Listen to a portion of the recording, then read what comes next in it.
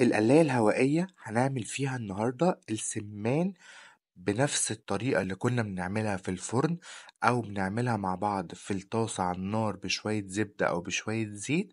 هنقلي مع بعض النهاردة السمان بتاعنا هيطلع معانا أحلى سمان ودي أول سلسلة من سلسلة الإير فراير عشان نشوف فعلا هي تقدر تخلينا نستغنى عن حاجات كتير في البيت ولا لأ. هنجيب السمان بتاعنا ونبتدي إن إحنا نرش عليه زيت.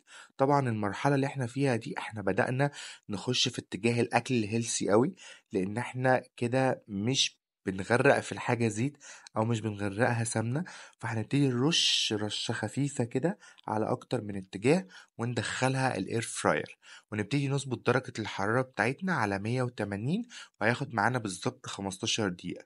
هيطلع معانا لونه حلو جدا وهيطلع طبعا مستوي وجميل. هو كده كده مسلوق. إحنا دلوقتي بنديله تحميرة بس أو بنديله اللون اللي إحنا كلنا بنحبه بطريقة خفيفة. كده طلعناه بعد عشر دقايق. هنديله تقليبة مع بعض. لو أول مرة تشوفوني أنا سعيد متنسوش تشتركوا في القناة و like و share للفيديو وتابعوا بقى السلسلة بتاعة ال air fryer بالذات عشان نشوف ال air fryer فعلا هيخلينا نستغنى عن حاجات كتير في.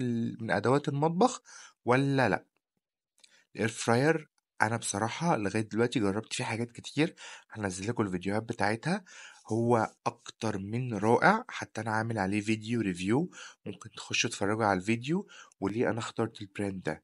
كده فاضل معانا خمس دقايق ودي كانت النتيجة بعد الخمس دقايق. يعني بعد الخمس دقايق الأخر دي كده النتيجة اللي إحنا هنبتدي ناكله بيها على طول. بصراحة كان طعمه حلو قوي وخفيف وصحي كده ويعني ألف هنا وشفا. بجد هتتبسطوا جدا جدا جدا. لو جربتوه تابعوا بقى الفيديوهات الجاية. أشوفكم في فيديو جديد ونشوف مع بعض. هنجيب اير فراير